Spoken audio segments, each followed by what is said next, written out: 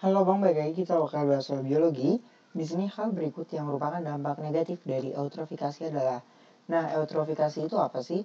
Eutrofikasi itu dia ada nama lainnya juga yaitu algae blooming.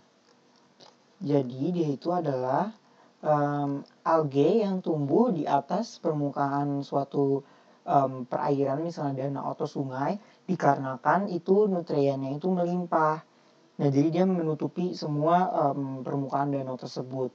Nah, berarti di sini yang ditanyakan kan dampak negatif. Kita langsung aja kok yang opsi yang pertama, tutupnya sinar matahari sehingga agak di daerah litoral mati. Nah, ini bener nih.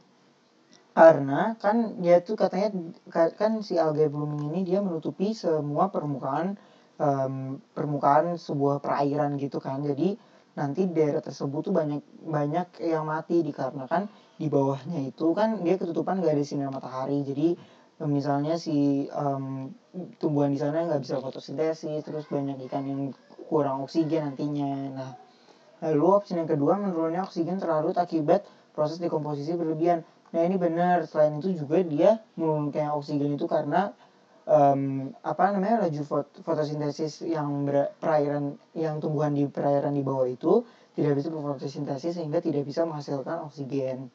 Yang ketiga naiknya pH perairan yang disebabkan laju fotosintesis alga yang tinggi.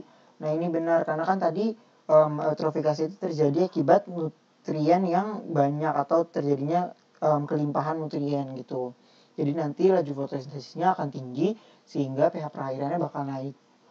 Lalu yang keempat, meningkatnya kadar racun pada alga yang tumbuh di permukaan air. Nah, ini juga benar. Jadi, buat ini jawabannya adalah 1, 2, 3, 4. 1, 2, 3, 4. Jadi, opsi yang bisa kita pilih adalah yang E. Oke, gitu aja. Tetap semangat dan sampai jumpa lagi.